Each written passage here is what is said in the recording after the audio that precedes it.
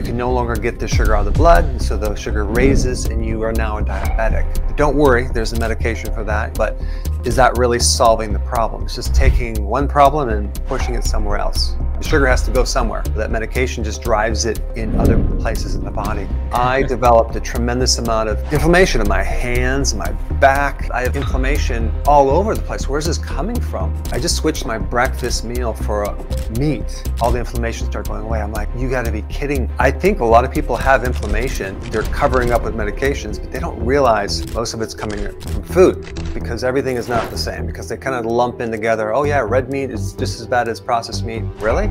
Where did you get that from? One of these uh, main agendas that's happening in the world right now, the censorship happening against keto. Well, you hear so many bad things. Keto causes bad breath, ketoacidosis is linked to heart disease and kidney stones and keto crot. Wait a second, I've never had any patient ever even complained about that. Some doctors say, oh, keto kills you. If you take a look at some of the sites, the vegan sites, the plant-based sites, their whole mission is not to promote veganism, it's to promote to attack fake facts. This whole attack against keto really comes down to one thing. Keto works.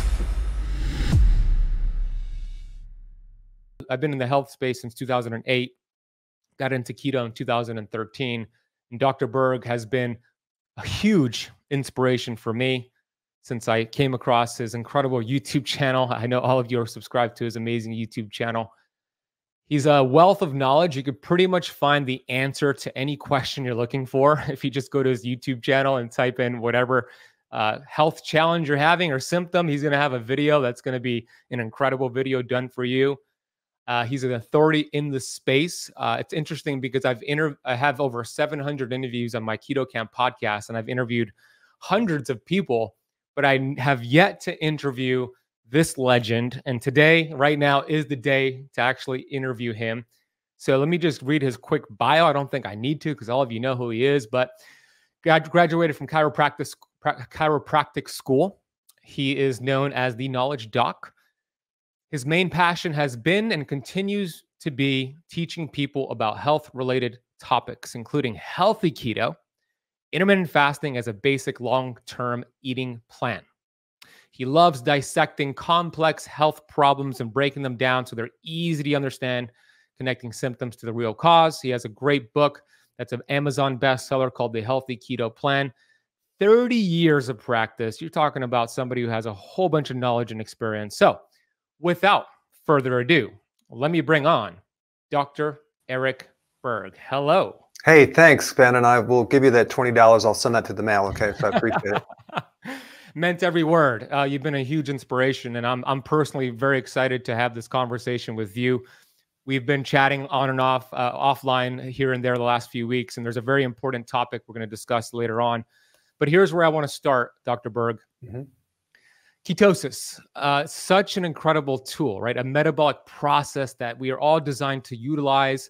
Essentially, what we see out there with uh, metabolic syndrome, they're in this keto deficiency. They've forgotten how to burn fat a lot of people, including those here on the uh, five day keto challenge, are, are, discovering keto or coming to keto because they want to lose weight.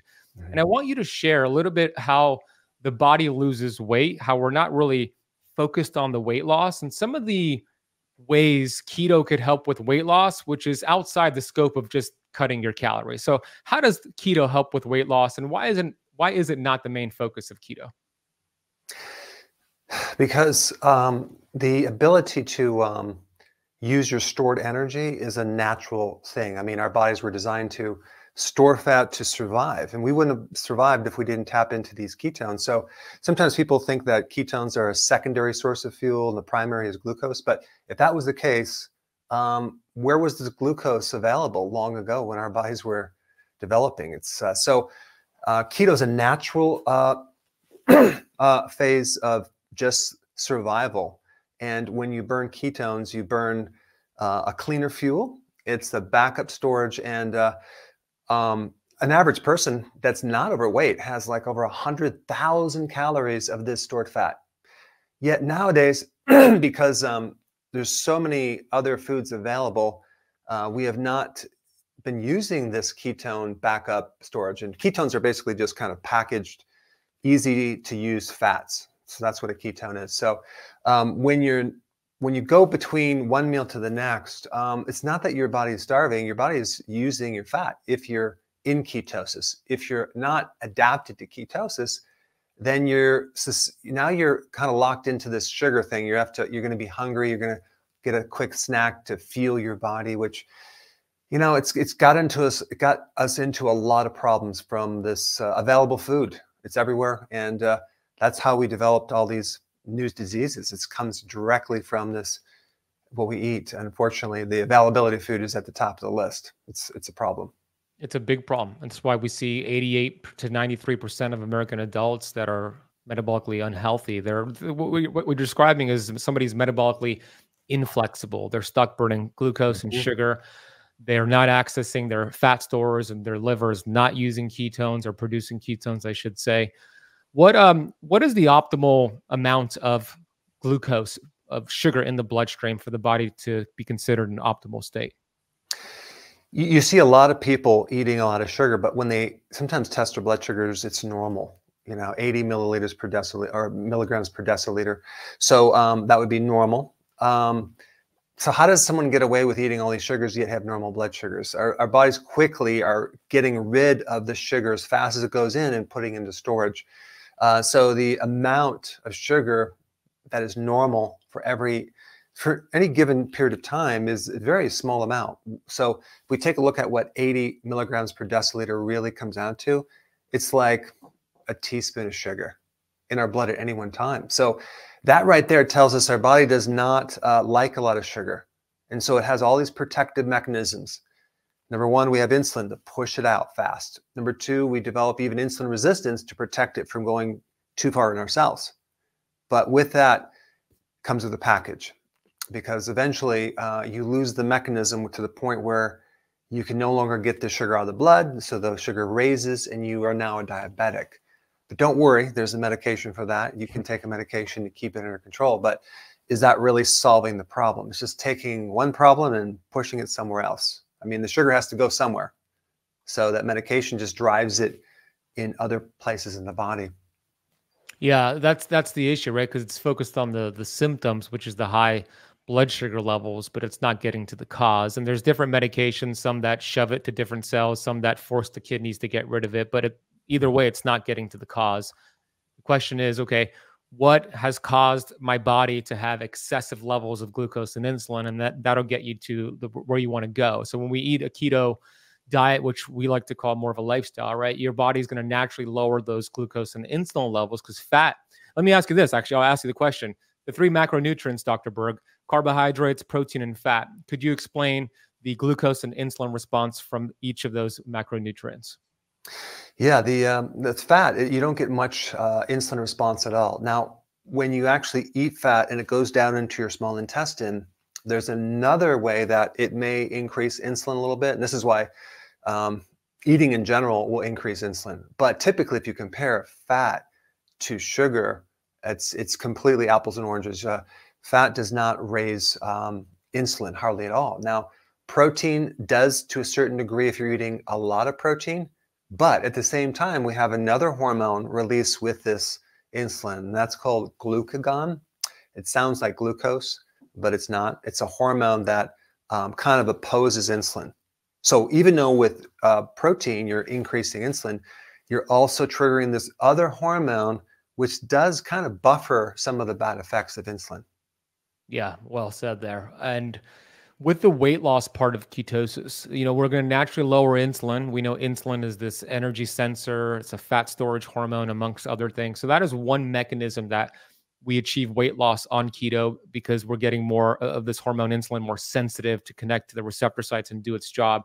What about the ATP production, the cellular energy that's produced when we're using ketones, the signaling molecule. Is that another way for us to raise our basal metabolic rate and actually lose weight on keto too? So, so when you uh, compare um, running your body on sugar versus running your body on ketones or fat, um, there's um, there's this little energy factory called the mitochondria, and it deals with this energy, and you make the energy currency called ATP, right?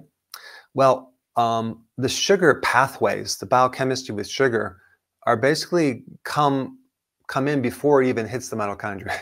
It's called glycolysis. That's on the, on the outside the mitochondria. That's actually inside the cell, but it's not inside the mitochondria. So if you're eating a lot of sugar, you're producing your ATP, not even utilizing hardly any of the mitochondria. And that motor is very, very inefficient. So you waste a lot of energy. So when you switch over and don't rely on this, it's called glycolysis or this sugar burning, now we get to use use the mitochondria, and that that um, motor is going to generate a lot more energy or ATP if you compare the two, and so you're gonna have more energy. And this is why so many people, when they get on keto, they're like, "Wow, I have this sudden burst of energy. Where's this coming from?" Right? Um, and then as they he heal the mitochondria, because you're not adding all the sugar, because see, sugar destroys the mitochondria. It just just tanks it because when you when you uh, burn sugar, you have all this what's called oxidation, which is like rusting out. And so you create all this oxidation, creates damage, inflammation, and, and gunks up the mitochondria and uh, creates disease. So what you're doing with ketones is you're you're funneling through this energy, you're creating more ATP, more energy, less inflammation, you feel better, and most diseases are related to mitochondria. So you're basically going to avoid a lot of different health problems if you just did that. It's a clean source of energy. You get more energy produced. I mean, sounds like a win-win, win-win-win to me uh, using these ketone molecules that we're all designed to utilize. When it comes to inflammation, uh, on Monday session, session one, I went over chronic inflammation versus acute inflammation and kind of explained the differences there. I'd love to, I'd love for you to share more about chronic inflammation as it relates to the membrane getting inflamed and those integral membrane proteins getting inflamed and what that does to create symptoms in the body. And then how keto, clean, clean, healthy keto could help with uh, lowering cell inflammation. Yeah. So uh, when we're talking talking about this uh, inflammation, we're talking about it's it's related to the immune response, and uh, there's many different triggers of inflammation. And by the way, inflammation is part of the healing process. And so when uh, the body starts to use its various defense mechanisms against like an infection, there's more inflammation in there. And then what's supposed to happen next is the, the body comes in there with all this blood and heals the area and then everything's fine, right?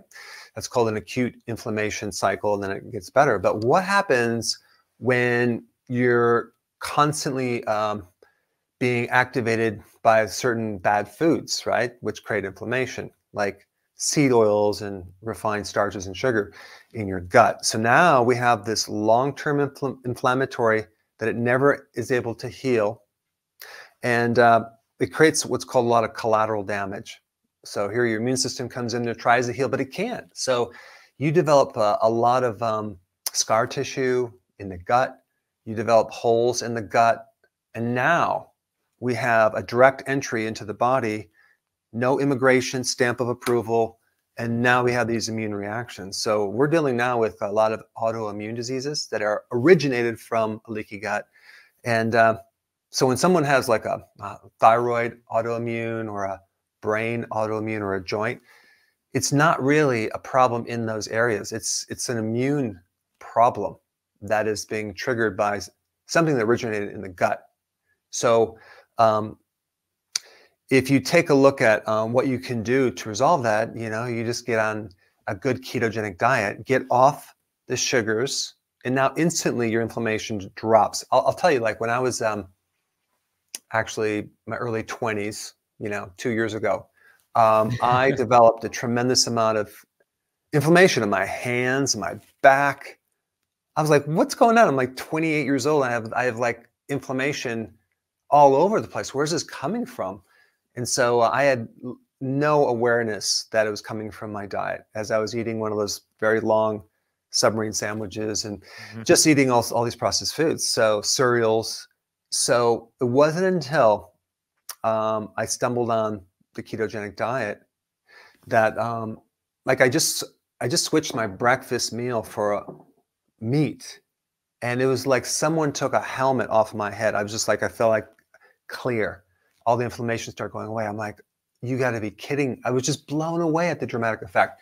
Um, so I think a lot of people have inflammation they're they're covering up with medications, but they don't realize most of it's coming from food. Now, there's a lot of other aspects to inflammation. You have, um, you know, a problem with cortisol, which is dealing with stress, or you also have an infection. You have too much iron. You have um, toxins. You have um, a lack of antioxidants because you're eating just like crap food and it's dead. So there's many different aspects to this, but typically, if you look at the, if you're talking about the mitochondria, uh, you're talking about creating a lot of free radical damage with sugar. Free radical damage. If you picture like, I don't know, like a plate spinning around with these balance weights on it, and then you take one off, now we have this out of balance. It's called an unpaired electron. So you have these electrons that are supposed to be balancing. And so then an, an antioxidant donates electron and stabilizes it. So um, our bodies make antioxidants and we get them from food. And so if the mitochondria is depleted its antioxidants because you're eating just junk food, now we don't get that healing. Now we get this massive cascade of oxidative stress, which is basically too much um, free radical damage with not enough antioxidants.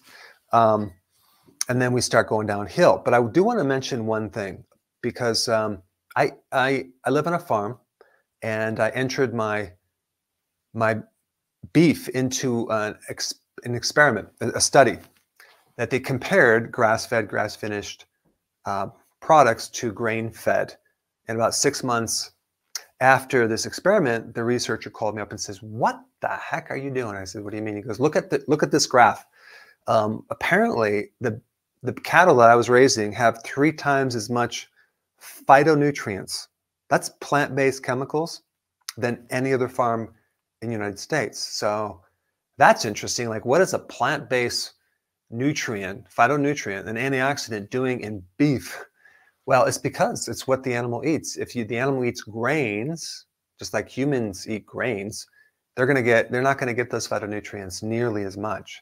So with my animals, they had no choice but to eat all the, the weeds, the grass, so this is another factor. If you're consuming grains, okay, you're not consuming like actual vegetables, or you're consuming um, seed oils, or you're consuming animals who eat grains, you're going to be heavy on that inflammatory cycle because you're not going to be able to develop as, as many of these phytonutrients that could also come from your meat. This is explains why like a, a carnivore can be successful if they do it right too. So anyway, it's interesting. Very interesting. And I have some thoughts I'm going to share with you with the I just did a 90 day carnivore experiment, but I want to ask a couple questions before I get to that. And then we're going to get into a very important topic um, as well. And then Minerals, minerals, minerals. You hear a lot of people out there speaking about the benefits of taking minerals. And it is important because in this day and age, our crops, our fruits, and our vegetables, they are depleted of minerals. The crops we have today are very different than the crops we had 10, 20, 30 years ago. And if you're doing a low carbohydrate, keto, carnivore diet with fasting, this is especially important for you because what happens when you lower insulin on these diets and fasting, you're gonna shed a lot of extra water weight, body water weight, which is great. You're gonna feel lighter, look lighter, but the problem is that your kidneys kind of go through this diuresis process where it sheds minerals and electrolytes. So you've heard of the keto flu, you heard of symptoms doing keto and fasting. People just don't feel good sometimes. This is the number one reason why. So my go-to for replenishing my electrolytes and my minerals, for enhancing my immune system, for gut support, for detoxification is Beam Minerals. I love Beam Minerals because it's simply a liquid I drink every day. It doesn't taste like anything, it tastes like water. And I know I'm replenishing those electrolytes and those minerals. As a matter of fact, it has fulvic and humic compounds, and these have over 70 trace minerals and really important electrolytes to replenish your body with. They have these incredible sprays that I take with me when I play basketball, when I'm on the go. If you have muscle cramps, you spray this directly. They're called the Instalyte spray. There's also the capsules that I take with me when I travel, the Electro Boost capsules that I take with me to make sure when I'm traveling, I'm supporting the immune system and I'm staying hydrated and my minerals are being replenished. Check out Beam Minerals over at beamminerals.com. use the coupon code Azadi, my last name, at checkout to get a nice discount. That is A Z A D I at checkout over at beamminerals.com. I asked Dr. Cate Shanahan this question a year ago or two years ago. I asked her about seed oils. I asked her about cigarette smoking and sugar. I said, which one's worse for you? Smoking cigarettes every day, eating processed sugar every day, or consuming these adulterated seed oils every day? And I want to ask you the same question. I know they're all bad, but if you mm-hmm. had to choose one, Dr. Berg, which one of those scenarios would be the worst? These are all really good questions because you want to know the relative value. You want to know what's worse, right? Because everything is not the same because they kind of lump in together. Oh, yeah, red meat is just as bad as processed meat. Really? Really? Where did you get that from, right? So if you take a look at all those three examples, um, I think um, the, the seed oils are the worst. And, and that the reason is because um, they accumulate in the body, whereas mm-hmm. sugars don't as much. Okay. So so you have the situation, um, seed oils have a half-life of two and a half to three years. Yeah. So if they embed into your cell membranes and they're stuck there, you got to wait several years before they come out. Now, what's interesting about smoking is uh, the, the, the island off the coast of um, Italy. Um, it's called Sardinia. You have cultures that have live a long life and they're in the top of the mountains, not the ones in the bottom, but ones that live on top of the mountains. Did you realize that the, the men that live very long smoke? They're smoke fiends. So what's up with that? How can that be? Um, how could they survive? Well, apparently, nicotine is a plant-based chemical, mm-hmm. and uh, it does have some positive health benefits. Could be an antioxidant or something. Yeah. So they consume a lot of cheese from goats that that eat grass at high altitudes. So guess what they're getting?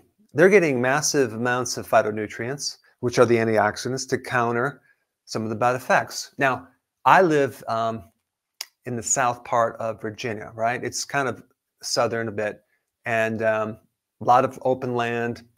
A lot of people live on junk food. Um, a lot of farmers chew tobacco smoke like fiends, eat terrible food, but they seem to live a long life. And I'm like, what the heck is going on here? Well, they're outside all day. Mm. they're working, they get this exercise. So they're actually regenerating their mitochondria. They're actually getting a lot of oxygen. They're burning off a lot of their junk food. So uh, in reality, you got to look at the whole picture, and it's not just about your foods. It's like, what's your what's your lifestyle? Do you have things to counteract these other things? You have any accidents? So that's just kind of like shifted my viewpoint on, you know, of course, if they didn't do those things, they'd probably do a lot better. And they they still have problems, but they you would think they'd be doing a lot worse. So there's other things that can counter that: your food, exercise, your environment, uh, your attitude. You know, there's some other things that are pretty pretty interesting. Yeah, I love definitely attitude, mindset is a big part there that I focus on as well. You make a good point. You know, the linoleic acid from seed oils, 680 days is uh, the half life, so about two years or so. It accumulates in the body, creates inflammation. What are some ways that we could accelerate the body's ability to remove these damaged fats from our body? Uh, vitamin E, fasting. Are there any mechanisms, things we can do for that? If we take a look at the chemistry of the omega 6 seed oils, and omega 3. They both share um, the same enzyme. So they're competitive. So if you're doing the seed oils and the omega 3 at the same time, they kind of cancel each other out. So what you want to do is you want to start beefing up, no pun intended, your omega 3, okay? And getting rid of the omega uh, 6. But for that enzyme to work, there are various cofactors that a lot of people don't know about. You have magnesium, you have zinc, the B vitamins. So you need those too to make everything work. But there's also one other very interesting cofactor, and that's insulin. Mm. So people that have insulin resistance, uh, what happens is they they have even more problems with this seed oil than people that don't. So how can you improve this situation? Get on keto. So that'll speed up the the progressive damage from the seed oils. It'll um, allow you to cope with them much better. So um, yeah, that's that's one one area right there that you can do. It's really good. I want to share with you my carnivore experiment. Um, I'm about to record a video and a podcast. Uh, I'm still waiting for most of my results to get come in, but I'll share with you, Dr. Berg. Uh, on October 1st of 2023, I said I'm going to do 30 days of just eating meat, eggs, and some seafood, so carnivore. And then after 30 days, I'm going to see how I feel from day one to day 30. But also on day one, uh, I did a $3,500 LabCorp panel. So I got all these inflammatory markers done C-reactive protein, homocysteine, fibrinogen, complete thyroid panel, LDL, LDL particles. So I did a whole bunch of panels on day one. Did a stool test on day one to see my diversity in different bacteria. Put on a continuous glucose monitor day one. And then I hit day 30 and I was feeling so good that I kept just going and I went 90 days and I just broke it last week. So right before I broke it, I did the same test, the blood panel test. I did the same stool test and I'm looking at like my deep sleep and REM sleep via my Oura ring and kind of comparing. I'm still waiting for my stool test results, but I got my results back from my blood work. And some of the interesting things that I want to share and hear your feedback. And please, for those watching and listening, none of this is medical advice. So don't take it as such. Mm-hmm. But uh, one of the things that I noticed, like if, if a regular cardiologist would have looked at my labs, they would have freaked out. They would be mm. putting me on a statin, telling me I'm about to have a, have a heart attack because my LDL total went from, I think it was 160 on day one, which is already high, consider, they would consider to 350 my total cholesterol went from right under 300 to over 400 my triglycerides were in the 60s on day one stayed in the 60s on day 90 but here's the thing. My particle sizes for the ldl the small particle which is the, the, the nasty kind the b pattern that we want to avoid was less than 400 it was really small amount. The majority of my ldl was the large and fluffy pattern a. Mm-hmm. So the small amount was really minimal, large amount was high. And then my all of my inflammatory markers were really low, like 0.5 C-reactive protein, homocysteine was in the uh, nines, I believe. So with all of that data, what would you uh, what are your thoughts on that right there as it regards in regards to cholesterol, the lipids I just shared, and heart disease? So probably out of all the things about keto, there's one area that is the most confusing, and that has to do with uh, LDL, right? Would you agree with that? So this yes. LDL confusion, because you got uh, all these vegan doctors saying, "Oh my gosh, you're going to die," and then you got cardiologists who are keto friendly, and they're like, "No, no, it's fine." So there's this big, huge confusion because we're we're debating. Um, what is, and, it, and as soon as you get into this topic, you give people all these big words and they just go to sleep. They don't even know who to believe. So they're like, now I'm more confused. So let's just kind of take this apart because do it. Um, uh, I, I, had this uh, MD, PhD fact check me, and he wanted to correct me on my LDLs. And he said, "Well, you know, a lot of people make this mistake, and uh, you know, I'm a researcher. Of course, he never practiced in clinic. Um, you know, he says, "Oh yeah, the uh, the small dense, the small dense particles, because there's different types of LDL, and uh, the small dense." Uh, you know, there's no difference between the large buoyant and the small dense, blah, blah, blah. So um, I did a I did a whole fact checking the fact checker on him.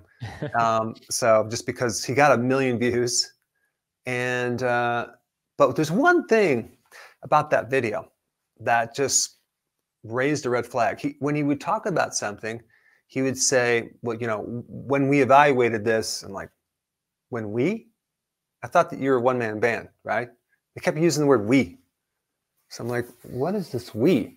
So then I kind of pull a string and, and see who's behind this guy, and I find out who, what organization he is from, and it's a it's an organization that's really they're they're about um, fighting disinformation, uh, mm. fake facts, combating false doubts, like all this stuff.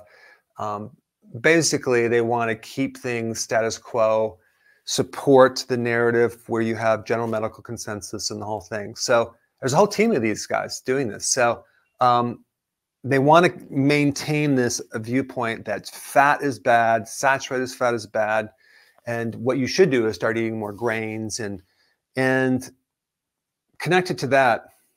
And we'll get into this in a little bit. Is yeah. this whole push for um, lab-based meats and fake meats, right? And going away from meat. So there's a bit of connection with that. But that being said, um, if you have um, small amounts of the small dense LDL versus the large buoyant, um, it's much less pathogenic. You cannot, you know, look at a patient and treat one biomarker. So, oh yeah, let's just put you on statins, or let's put you on this because you have this one biomarker. Why don't you treat the patient and look at the whole thing? You have low anti-inflammatory, you have low anti-inflammatory markers. Um, I mean, high anti-inflammatory markers, I think you said, and you have there's not a lot of inflammation in your body. Well, that right there tells gives me a lot of great data. There is um, some new information I want to share with you that I think is going to be the, the medicine of the future because what we really have right now is what you said. We have these different lab panels. We can look at this and look at that. There's something new, and I don't know if you've heard about this, but it's called metabolomics. Have you ever heard of that word? Yeah, share it, share more. Okay. Metabolomics is going to be the new healthcare. And what that is, it's you do this test and you look at everything inside your body. So now we, we go from like maybe 60 things to maybe 5,000 things. So now we get all the data and we look at what's happening with your biochemistry and all the different pathways. You can look right into the mitochondria and see the different steps. There's Very different, cool. it's called metabolites, and, and see what's happening where your problem is. That is going to finally show people what's really going on because see what you did, which is great. You did it before and after, and you'll continue to do it, and you can see things improving. If you can look at your metabolomic testing, one of the most powerful um, ways to uh, risk factors for cardiovascular disease from LDL to triglycerides to you know HDL to all these factors is something called and this might be new for some people uh, lipoprotein insulin resistance. Lipoprotein which is basically that that particle that's carrying the cholesterol insulin resistance so here we come full circle back to insulin resistance. That is by mm-hmm. far mm-hmm. the most important biomarker for cardiovascular disease because with that you get, you know, oxidized LDL, you get oxidation, you get inflammation. So you just basically went zero carb. So your inflammation just went bye bye. Yeah, my and, fasting uh, insulin was 3.1. Okay. So you have nothing to worry about. I mean, you're doing great. So, um, but I think this this new testing is going to finally um, allow people to, you know, because it's not about. It's really hard to design a study that proves something for sure. Especially right now, they're using all these observational studies.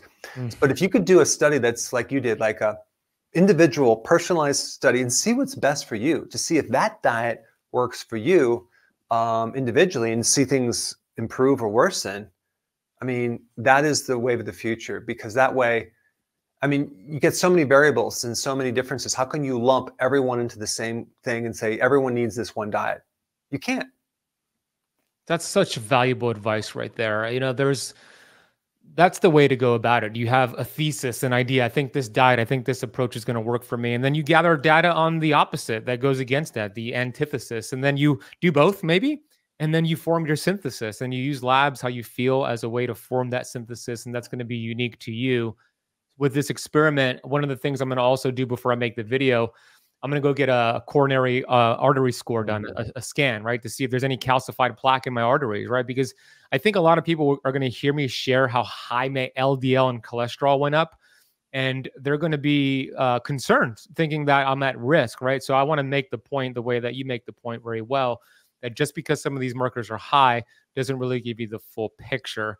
So I'm going to do my own experiment myself to encourage others to do the same thing and then you could form that unique approach that will work for you. I can tell you this I felt incredible during those 90 days. I got more deep sleep, REM sleep. I lost 16 pounds, 6% body fat off my body, less awake time looking at my Oura ring score. So I felt absolutely incredible. And the labs actually backed up how I felt too. See, I want to just want to mention one thing you said about that because I think this is really, really important. If you ask the average person, like, what, what's the function of LDL? They're going to say, well, that's bad cholesterol. That's yeah. their function is to clog your arteries. But the function of LDL, if you just look look up any you know physiology book um, is this: it delivers cholesterol to the different places in your body. So the purpose of cholesterol is to help you make vitamin D, help you make bile, help you make the cell membranes, and help all of your steroids being created. I'm talking about cortisol, testosterone, estrogen, progesterone, all of these hormones. You can't make them without without cholesterol. So that cholesterol has to be transported to the tissues. How does that how is that transported? Through LDL.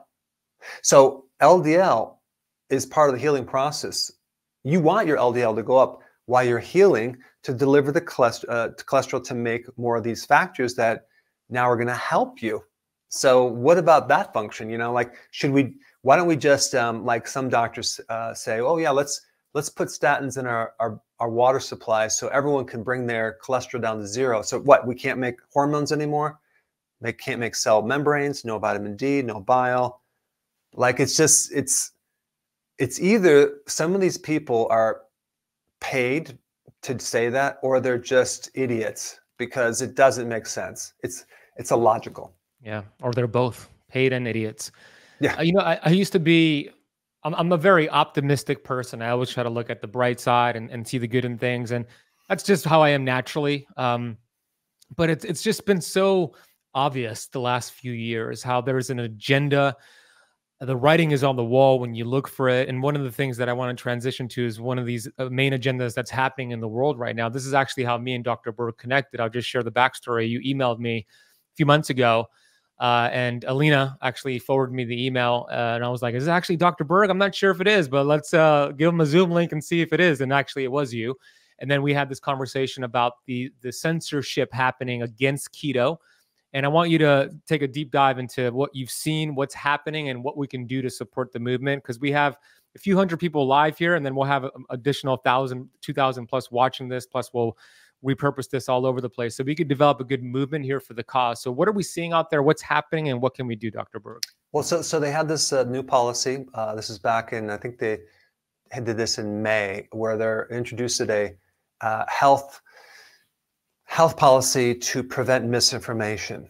And so they used the whole COVID thing and then they branched off into pretty much everything like diets and things like that. So when you type now alternative uh, remedies, home remedies, various diets, what comes up is uh, the authorities, the health sources, and they're mainly medical. And when you type in low carb or keto, you see the opposition, the competitors for keto you see some all these vegan people or maybe some YouTubers that try the diet, but they're not experts. So I have just under um, a thousand, I think I have 980 something videos on keto. Um, I'm not, I'm no longer ranking for keto. So um, some people say, well, you just did that video just to get attention. I'm like, uh, really? Well, we'll take a look. Try to find me. Try just type keto and see what happens, right? So um, there is a bit of censoring right now. Um, but what's interesting about this, like if you type keto in general, boy, you hear so many bad things, right? I don't, if, if, I don't know if you've seen that. It's like keto causes bad breath, ketoacidosis, it's linked to heart disease and kidney stones and keto crotch. I'm like, yeah. wait a second, I've never had any patient ever even complained about that.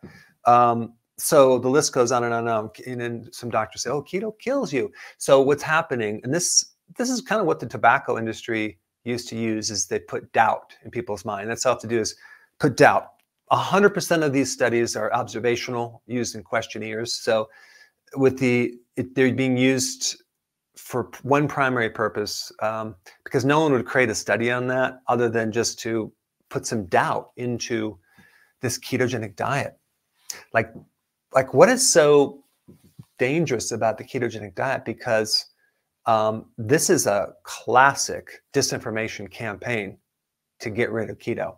So, what don't people, certain people, like about keto? Well, it's against junk food, it's against ultra processed food, it's against sugar. Is that a big industry? Could be. They're against. Uh, I mean, these they're they're against like um, we're against um, you know, we want we're we're pro uh, meat, right? And eggs.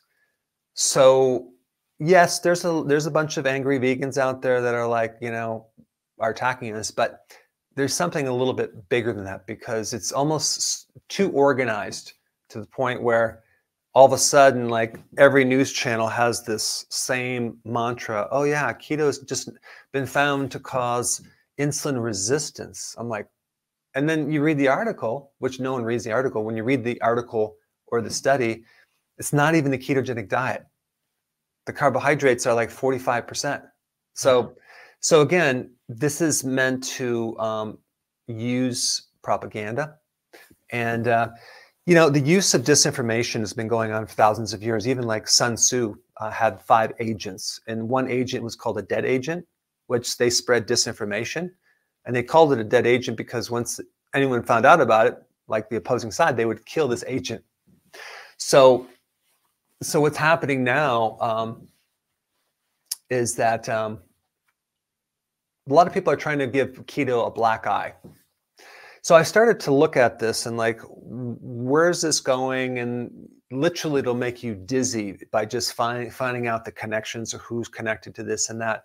I'm going to avoid all that um, and just kind of get to some interesting things because um, if you take a look at some of the sites, the vegan sites, the plant-based sites, um, their whole mission is not to promote veganism; it's to promote to attack fake facts uh, which I find interesting. Why would you actually have your mission to fight fake facts when you're not even promoting your own veganism? You're just going to fight facts. So what what what do you talk about fake facts? What does that mean?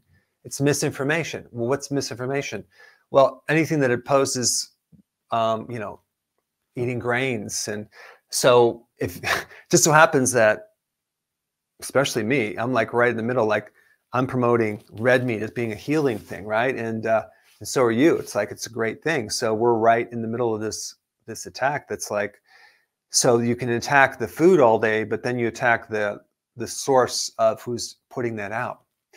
And then what's another thing that's really interesting is if you type in on google in, incognito so you you don't get your history type red meat guess who comes up me i was like what? how did I get through the grapevine on that one?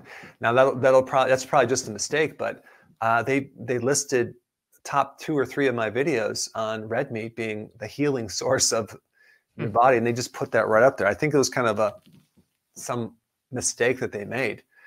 But keto, no, no.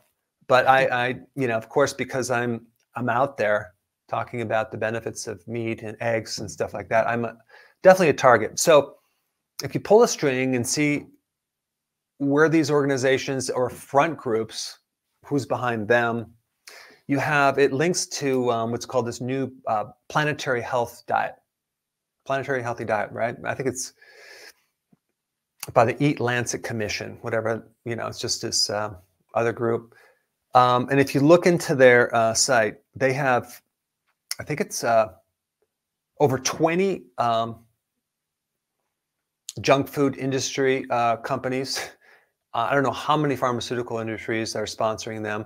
Uh, the strategic partner is Nestle, who basically, from my viewpoint, is probably the most evil company in the planet, worse than Monsanto, because if you think about it, they sell, they're the largest company that sells junk food.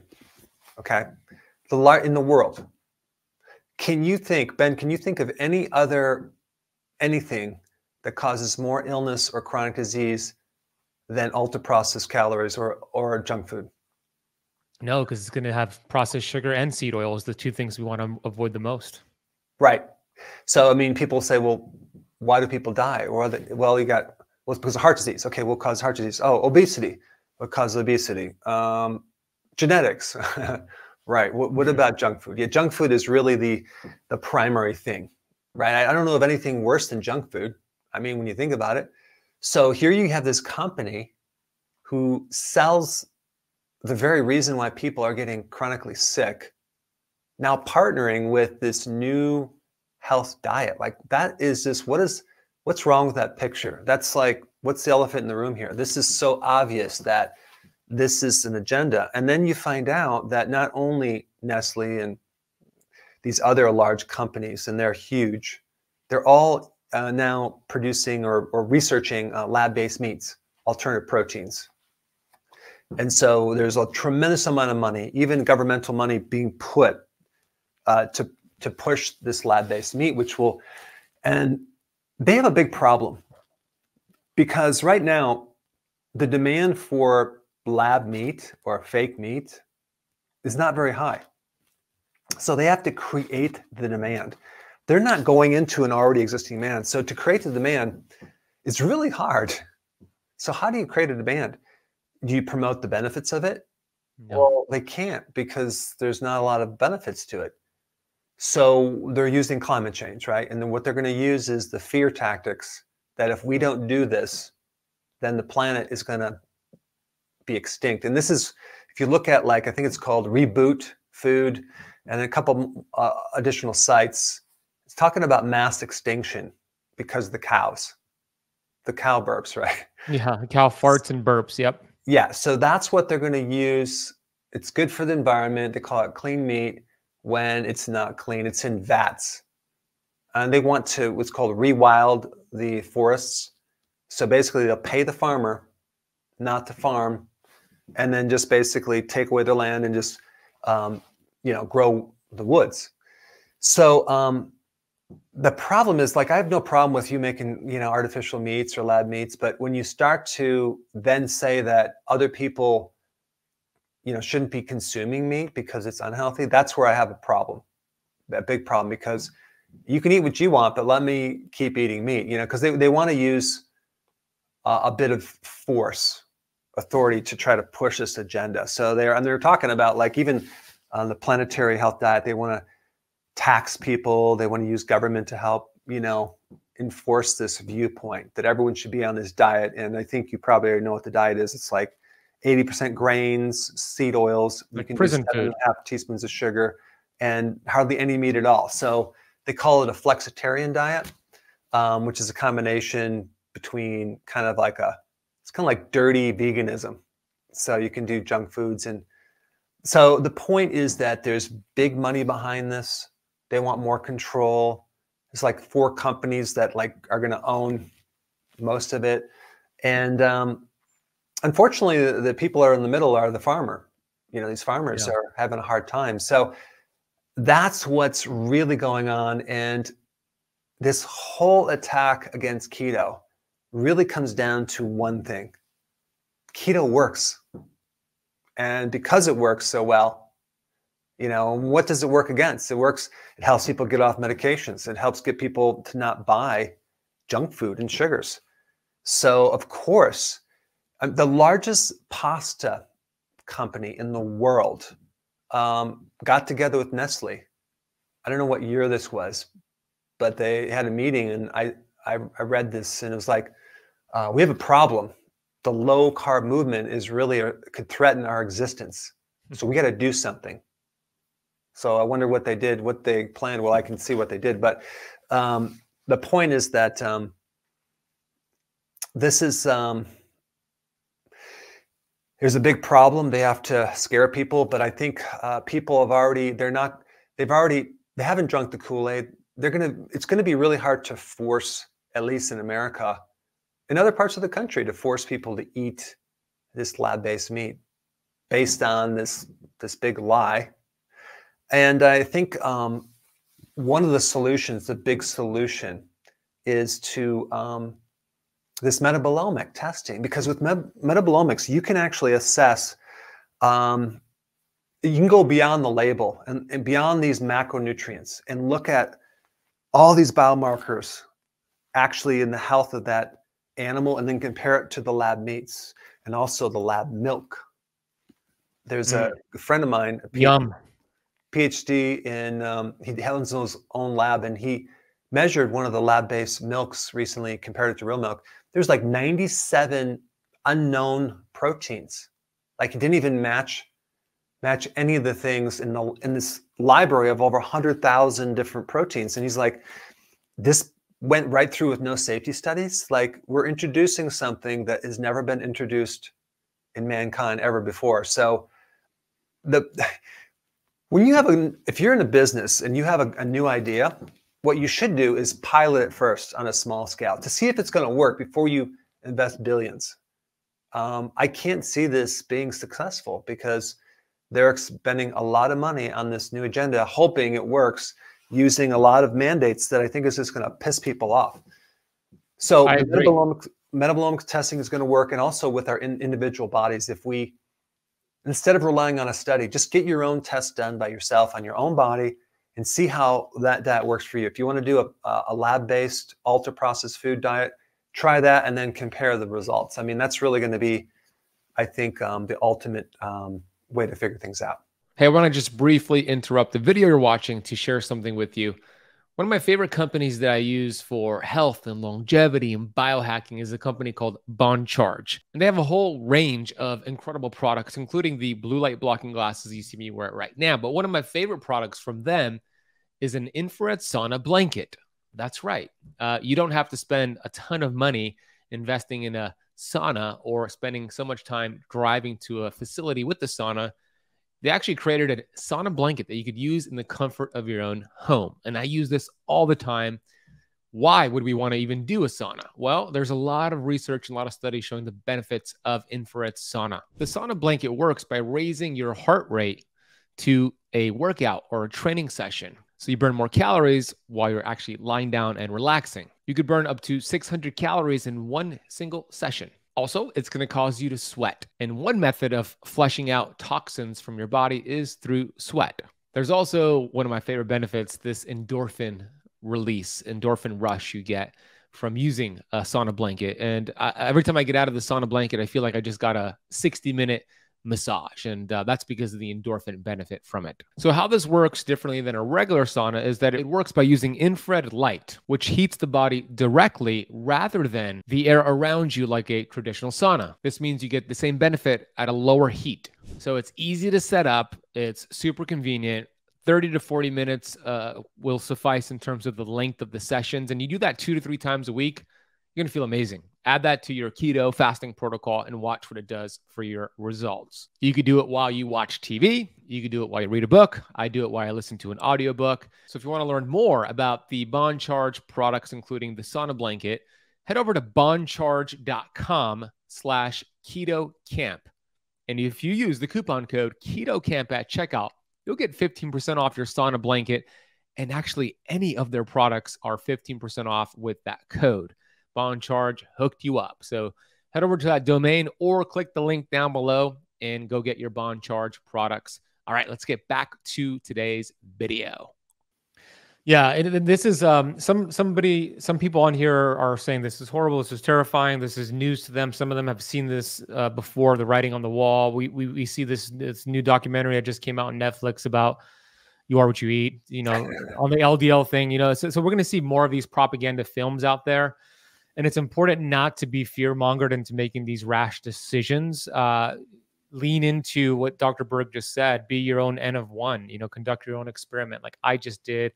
You have metabolomics that you could do some experiments and testing with. What other things we can? What are some other things we can do, Dr. Berg, to make sure? We're doing our part, but also, you know, supporting the community, supporting the movement of keto. Anything else that we can do that you would suggest for us? I think um, I think we need to um, we need to get a bit organized. These groups are highly organized, highly funded. Um, there's no real organized keto group. I mean, like big enough to.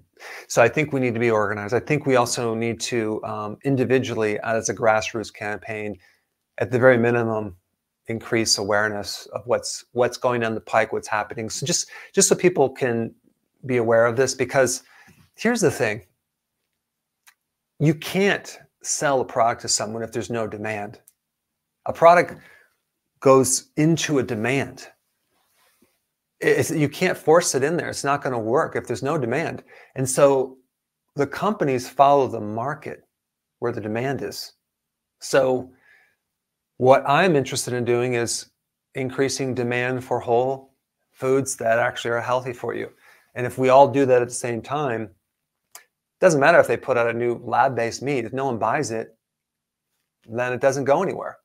So I think it's a grassroots campaign. That's really the bottom line. Um, it's it's what's I don't know of any other thing that's more powerful than the ketogenic diet than um, for your health. I mean, it's it's potent. It mm-hmm. solves a lot of problems.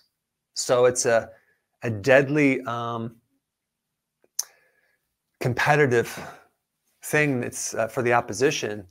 But right now, you are in you are sitting in a diff- different disinformation campaign, and it's hitting you from all different sizes and sides. And there's front groups, and there's they have a lot of partners, and um, it's interesting how they partner with every group you can imagine to, to appear to be really big and strong, but it's not based in any truth. The mm-hmm. amount of lies being pumped out is crazy. So, especially on keto, I mean, it's like opposite day. I mean, it's crazy. I mean, we have a, a, just under 8,000 success stories on our website. of people like how can you say that that keto doesn't work? Uh, it, it, it, gets rid of all those problems that you're um, you're telling it. So I think again, how much money do some of these companies need to need to make? Really, I mean, is it all about just money? Like, why can't we get people healthy? You know. Yeah, I think it's a combination of money and control, and who who knows whatever else. So that that agenda, the the plan is by 2030 uh, right, for the global, the population in the world to be eating a plant based uh, and plant engineered meat by 2030 in about six years. Is that the goal? Their goal? Yeah, it's an ambitious goal. It's mm-hmm. a very ambitious goal. And, um, you know, here's the thing I know this group of people have been trying to, they they have these huge goals, but from my view, from my uh, experience, just observing what they've done in the past, they, they never reach their goals because they're not based on really good intentions. So um, they create a lot of destruction, confusion, and and problems. You know, just like just like any of the the things that were passed. Like what about thalidomide or DES that was passed uh, some years ago, where all of a sudden it got passed through the safety studies and and so many kids were deformed and things like that. And mothers with the DES like said it was, oh yeah, well get rid of your your miscarriage or your prevent miscarriages when it was found to cause miscarriages. And same thing with trans fats and then the cigarette smoking. It's one of those things where they get away with it, make a lot of money, and then they find out, oh, sorry, uh, it's it's damaging. So again, um, I think there's here's the really good good news. Just to give you some good news, um, keto is still the most popular search diet. Okay. It is still. And even though you might hear otherwise, there's a tremendous amount of people that are doing it with great success because here's the thing once you start once you get success you don't go back yeah you don't go back you can't because now you know it works what are you gonna are they gonna try to convince people to go start eating this other food no they're not gonna do it so anyway i just wanted to make you aware um, and uh, we just need to get the word out and spread the word. And I think um, collectively, um, through a grassroots campaign, we can change the market into a different direction, and then, you know, have them produce healthier products. How about that? Yeah, I, I love the awareness that you're bringing here. So we all essentially vote with our fork, where, where we put our dollars, is where we make these decisions that influence whether or not they get away with this or not. Uh, you know, when I go to restaurants, I'm always asking the servers if they use seed oils, and they usually do.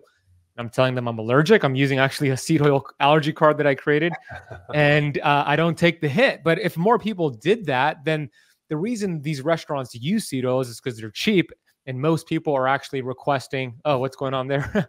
most people are requesting, are not requesting to have their food cooked with other things. So the more we do this grassroots uh, grassroots movement. You watch Dr. Berg's videos, uh, my videos. You share that with people. The more they're not going to get away with this. You know, I, I don't think they're ever going to get away with this. We have Dr. Berg here sharing the message. We have myself. We have this entire community and so many others out there. So we just have to uh, do our part, and they'll never get away with this. Keto is such a healing tool, and what's different about keto versus other diets like a paleo diet or a vegan diet keto is a metabolic process. It's something that we are designed to use, uh, and we've been using this process since the dawn of humankind. So there's nothing new about keto. It's just nuanced or maybe new to some people, but it's a process we're designed to use. I'm going to bring on Gail here, who's a a student in our Keto Kamp Academy. She's super excited to meet you and ask you a question. And if you're also a VIP student and you want to come on and ask Dr. Berg a question, we have him for a few more minutes. So, Dr. Berg, are you good for, with me bringing on Gail? Okay. Mm-hmm. Sure. Here's Gail coming from Texas. Hey, Gail. Hi, Dr. Berg. So Hi. wonderful to meet you. Um, and thank you, Ben, for helping me achieve one thing that's been on my bucket list for a few years, and that was to be able to meet Dr. Berg and explain to him the just the amazing impact you have had on my life. Mm. Um, and you've probably heard this a thousand times, but I'm going to say it anyway for all the um, people out there who you've impacted. Uh, five and a half years ago, I was morbidly obese, couldn't couldn't walk, couldn't stand, unbelievable pain, um, thinking that my future was bleak and not not knowing what to do about it. And a miracle led me to YouTube. And I first found Suzanne Ryan, who you're probably familiar with Keto Karma and her work. But soon after that, as I searched, and six years ago is a little different on the searches, I found you. And I am so grateful to have this opportunity to tell you that you had you, you helped save my life. And I want to to thank you for that. Sorry, I'm gonna get a little emotional. Um on just your videos were so valuable to me in terms of learning.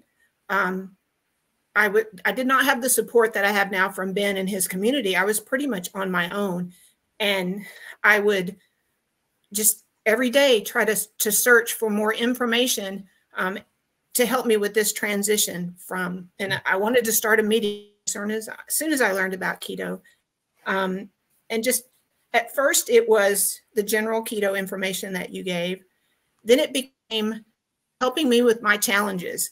Um, head cramps. You go to search. You told me to take magnesium. Thank you. Um, still do. Uh, the trying to get rid of snacking, and you taught me. And every time I wanted to snack, in the back of my mind, I would think, you know, Dr. Berg said if you snack, every time you put something in your mouth, you raise your insulin, and that's not that's going to store fat, and that's not good for you. And I would not snack, and that's and your mm-hmm. video was how I gave up snacking. Just on and on the changes that you helped me make. And then then it became about motivation on the days when I thought, I know this is working, but can I keep doing this? And I would just say, okay, every day you're going to go out and you're going to watch two Dr. Berg videos. Doesn't matter what they are, just watch them. And that will keep you learning and keep you going. And now when I talk to people about my transformation, they'll have in their notes, just go watch two Dr. Berg videos every day help you learn and grow. Um, and now I tell them to go listen to a Ben podcast too. Um, back then, that it was just you kept me going. And since I've lost over 120 pounds, I have no inflammation, no pain. Um, my life, my future, raising. Uh, Ben's coaches are helping me get stronger. Um, I, am looking forward to a future that I never would have had uh, without you. So I just, for everyone that's out there that doesn't get a chance to say thank you, thank you so much for what you. Wow, thank you so much. I appreciate that very much.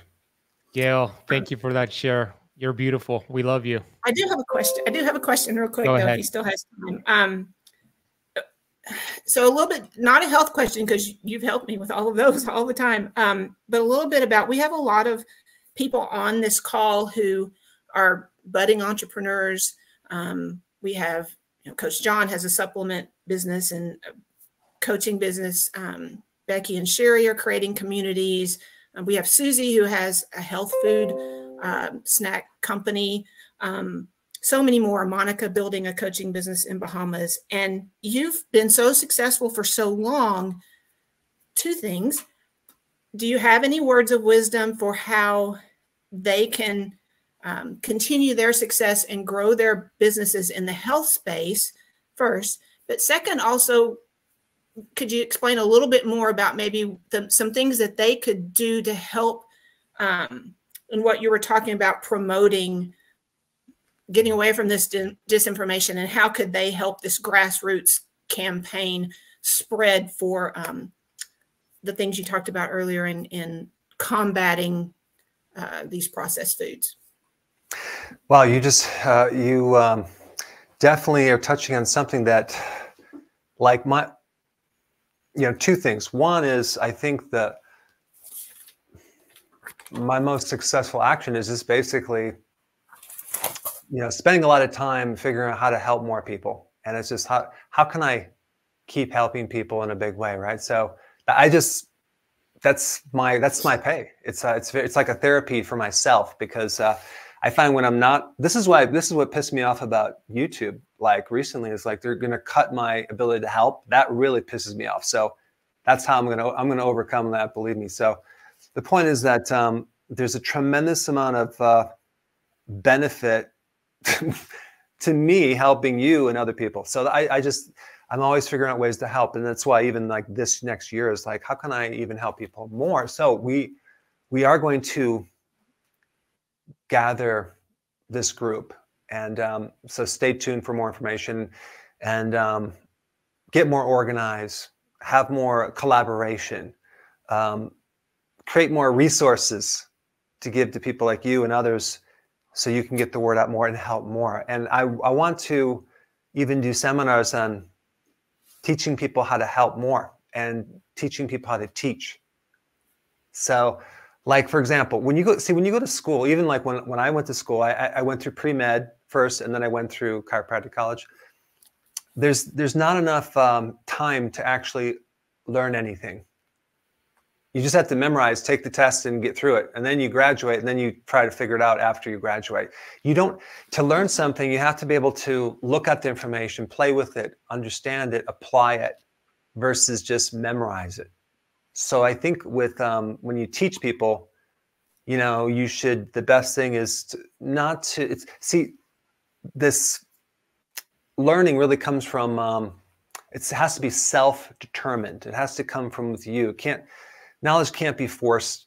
Like even when I when I come home and I'll tell my wife this great, amazing thing I learned, she doesn't have this aha moment. She's like, okay, whatever. So unless a person themselves looks at something, usually through a question, and starts looking at it, like if like I don't know, like if if cholesterol is so bad, then why does our body make it? And then you start getting people to look and start to observe for themselves and then develop their own knowledge. That's really the way to teach people. So um, I'm going to be doing a lot more of that to help other people. You know, just have insights on how to help other people, how to teach other people. That's really how we're going to get there with groups and things. Like people have groups and churches and things that they can use. Um, and so that's kind of been very successful too, because when you help people, um, you know, they tell others and it spreads. The other thing is that um, it's great that these other companies are looking at um, different products and things. And what I want to do and get other people to do is support those products that are truly good, you know, versus some of the fake keto stuff with all this maltodextrin in there. I'm like, what? Like, I'm not going to promote that. Um, I mean, I uh, I recently found a, a cereal that was really great ingredients, and it was like there's everything in there was amazing. So I just mentioned it, I think they they sold out within within the, within the day. You know, just That's by cool. mention it. So when I think what we should all do as influencers is to really support these products that are doing it right. And again, demand drive the demand to good foods when they go to the grocery store. So this next year, I'll be doing a lot of education with labels, with uh, showing basic definitions on on labels like this so they can see like well, why do they have dextrin in this product you know like what so what does that mean and just educate people on basic definitions so i'll be doing a lot of that and i want to share that and uh, so stay tuned for more on that as well because we do want to uh, all uh, basically we need to um, not fight each other but come together as one group because sometimes right now like you'll have even doctors attack like keto doctors even doing critiques on me like oh yeah he's talking about lemon water. I'm like out of all the things you can attack someone for lemon water is probably the least dangerous like oh my gosh lemon water oh yeah i'm like why don't you attack something like ultra processed foods like but they do it to get attention sometimes. So I think we need to gather the troops and come together and be organized uh, so we can collectively just uh, have a voice because the power is in numbers. Well, there are Thank a lot you, of us out here. So whenever you're yeah. ready to mobilize us all, we're with you. Thank you, Ben. Thank you're you, Gail.